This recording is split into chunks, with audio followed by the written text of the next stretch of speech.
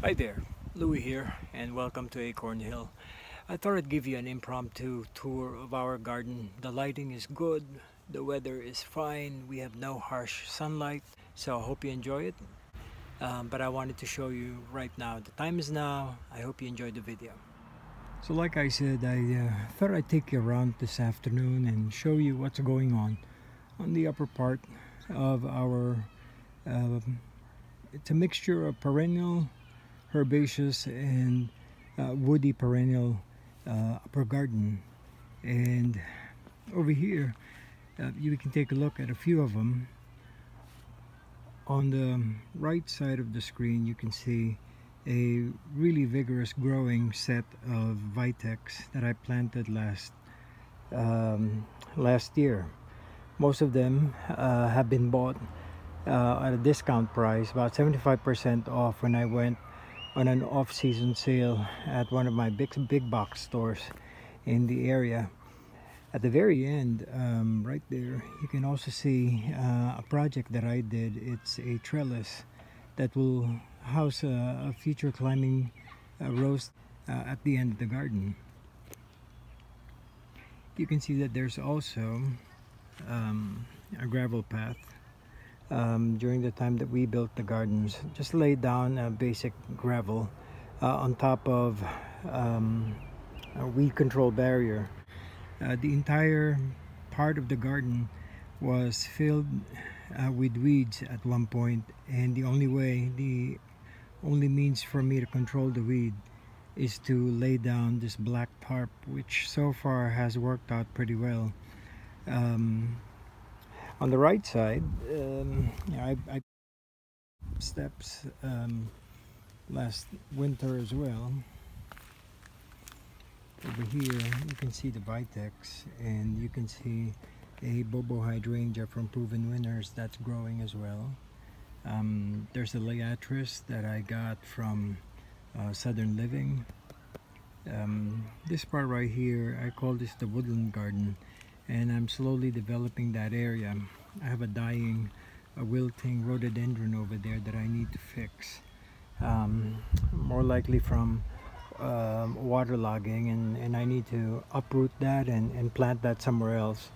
But moving right along, along the left side of that, of the woodland garden, you can see this big uh, wax myrtle that just grew from out of nowhere and this is probably four years old.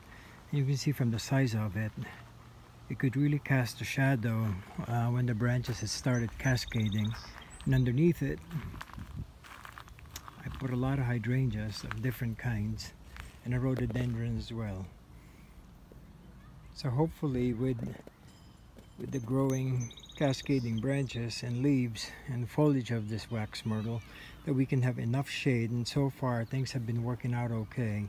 Um, it's the first year for these hydrangeas to be in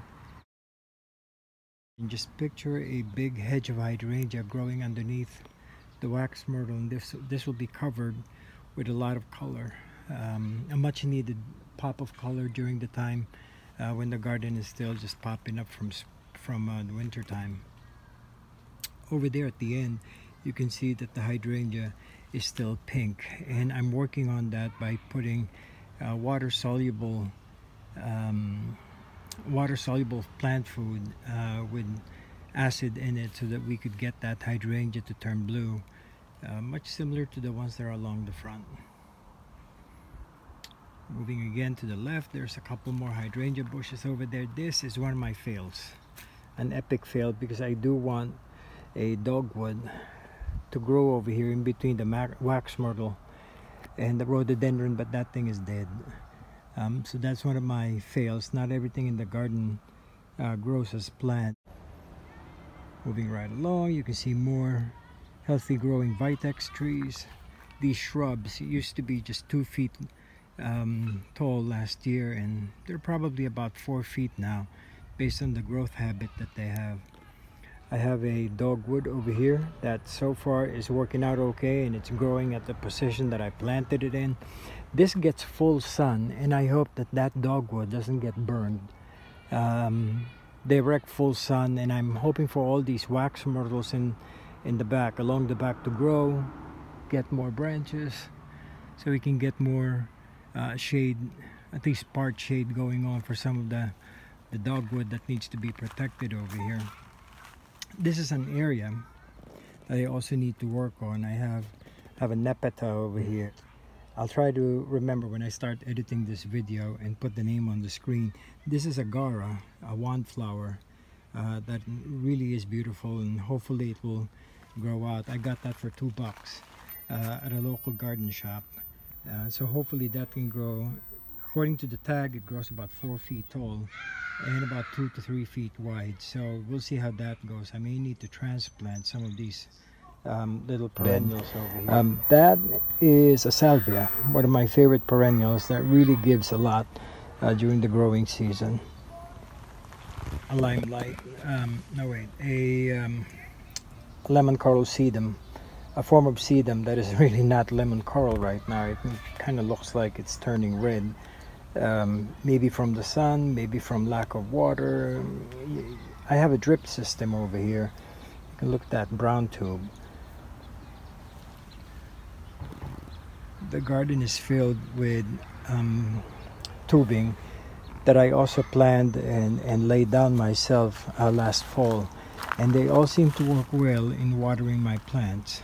Um, I got some uh, what is that a, a, lamb's ear in the back that I just popped in you know I figured we'd, we'd get that to grow a little bit over there uh, that's the one I'm talking about um, a daylily um, really uh, toughest boots plant that really helps me a lot give texture and, and vertical interest and color.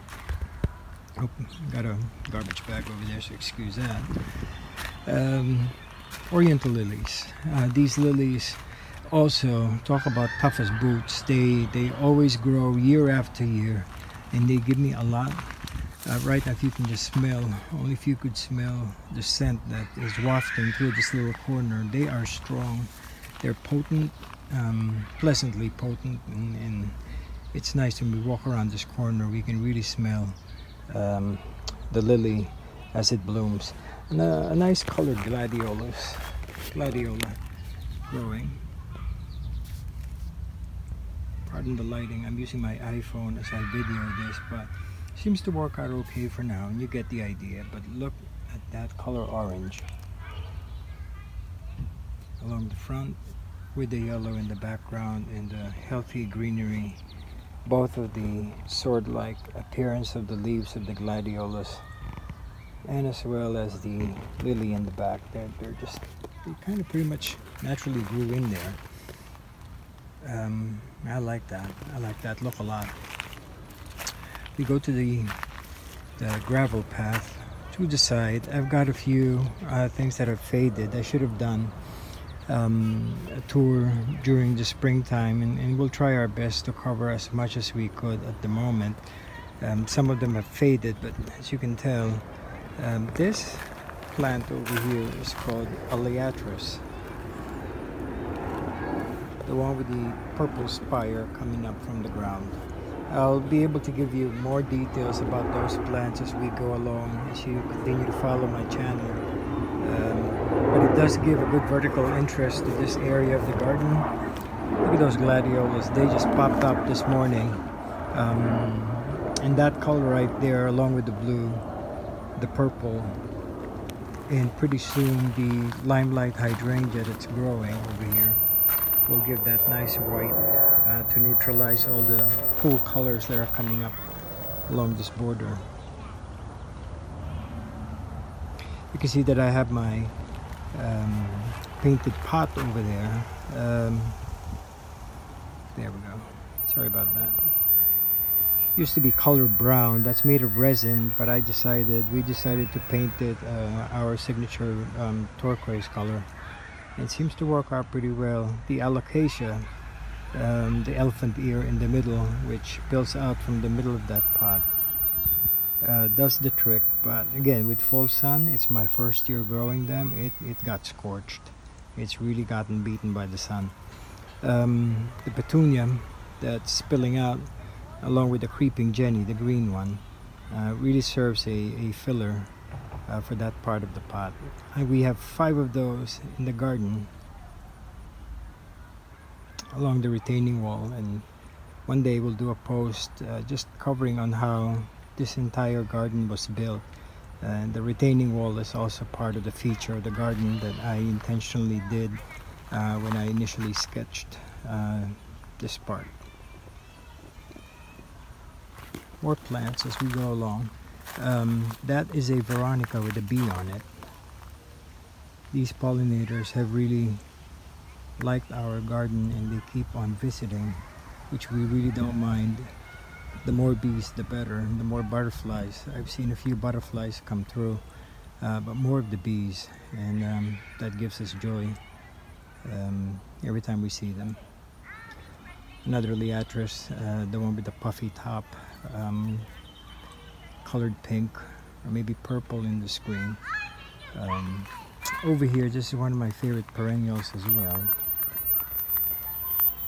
These um, blotches of um, purple is a verbena, and it's a lollipop kind, and it's called Verbena bonariensis. Um, tough plant, uh, needs uh, good, well-draining soil, a lot of compost in it. Um, but with the humidity here, um, the problem that this, this perennial has is powdery mildew. As you can see from the leaves, and they are right there. You see the white splashes of white on the leaves. Um, spray some neem oil will do the trick um, for that.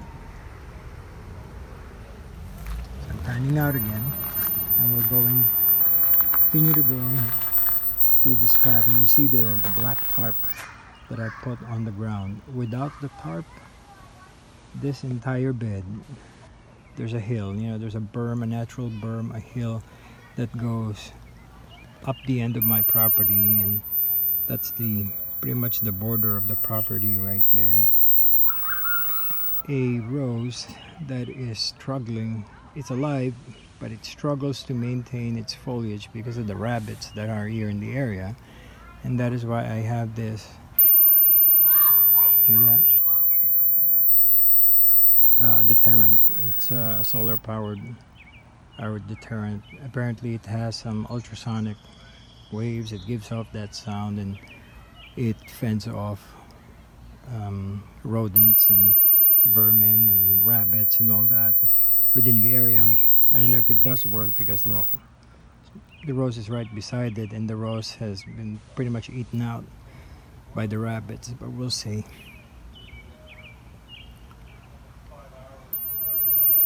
Continue to pan out, continue to pan out. The reason why I um, decided to finally do this tour is for you guys to see this. Again, these lilies serve us really really well. Um, I do not know what kind but it has that creamy yellow buttery yellow uh, tint to it to the petals um, with a nice swath of, of uh, pink along each petal. And they are beautiful. They are big. There's netting that cover this part of the garden from that border by the tree trunk which is really a volunteer uh, pear that just grew in this area in this spot of the garden. And then if I pan over to that side you can still see you can still see the net. This is to deter and prevent the deer from chewing my plants. I did a post before where I had uh, I'd removed a poison ivy and that poison ivy was located right there. May have seen the video of it so I'll, I'll put a link to this video so you can see my little adventure when I did that. This is pretty much the woodlands and you can see that there's a lot of thicket wax myrtle. Um, I planted that arborvitae um, I don't know five years ago. Uh, it is a dwarf kind so it doesn't grow as tall as I wanted to, but my neighbors, there's a plane passing through. My neighbors planted a beautiful evergreen that really gives a lot of structure to this area. So texture, greenery, depth, that's what we get in this part of the garden. There's also a video that I did, pardon the lighting here. There's a video that I did where I had to transplant all of these daylilies from a different part of our garden and decided to put them over here because next year this will be filled with those with those blooms. Look at that color orange. And just imagine this entire end of the garden filled with a different layer different layer of greens with a lot of those um, orange flowers that will cover that section I'll also put up a video sometime on how I built this per this um, this trellis, this tuteur.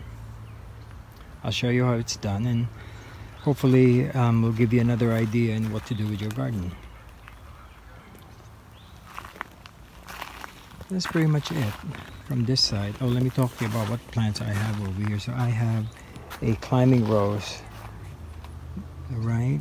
there that has now grown. And in a couple of weeks I will start bending the cane so it could go directly from there. This could go from there to there and start growing up up the tuteur up the trellis. Got the daylily over here. It's about to burst. It's about to burst and give us some flowers um, a boxwood right here I got a lot of iris. I have a big collection of iris that um, a local lady uh, gave me four years ago and, and I have a lot of them. This time of the year in June the, the garden has really burst and you can see that there's a lot of texture now and a lot of growth that happened. Um, again these are our lilies and, and look at all of that. So so far they're about three and a half feet tall. I have a set of lilies on a different garden bed which is right over there right by the pot wait adjust the lighting here. Right. Uh, see if I can point it out to you. Right there. That is six feet tall from the soil from the ground level all the way up to the tip of it. I'm really proud of that patch because I have a few that will burst into bloom pretty soon. But that's for a different video. Over here this is the vista that I really like. Coming from this angle if I stand here under the pear tree that vista right there is a winner. Um, just imagine that there's no uh, black tarp. But you can imagine um, if that's covered in green or some other textured plant. Um, I really like this area. Many of you have seen, oh look at that, look at that alocasia leaf um, over there. Scorched and dried. So lesson learned, you know, we're not going to do this probably next year, but we'll put those, uh, I have about 18 alocasia bulbs that I need to put in an area of the garden where there will be morning sun. So that, that should be okay for next year. For now, they serve their purpose. Uh, an antique armillary that I got, I think that's what it's called, but it's it's an antique uh, that I got from a consignment shop in Connecticut when we used to live in the Northeast. The gladioli, over here the pink gladioli, the liatris, and you can see that the blue and that purple uh, really just, it, it does a lot in this area. And that's what I, what I see when I'm under the tree over here. I hope this gives you a little bit of an idea of what the garden looks like, at least from this end. Um, the winding path, the gravel. Um, we've, we've liked having this gravel because when we walk, there's that crunch. It's very tactile and you can really hear it. Um, gives you a much uh, better experience when, when you're watering, hand watering or wand watering the area. Anyway, thank you for spending some time with me right now. Um, we'll see you again in the next video. If you haven't subscribed yet, please do click the subscribe button and there is an, a bell icon beside it and it's a notification bell just let you know that I've got a new video that I've put out. I appreciate your time. I'm signing out for now. This is Louie in Acorn Hill. Bye-bye.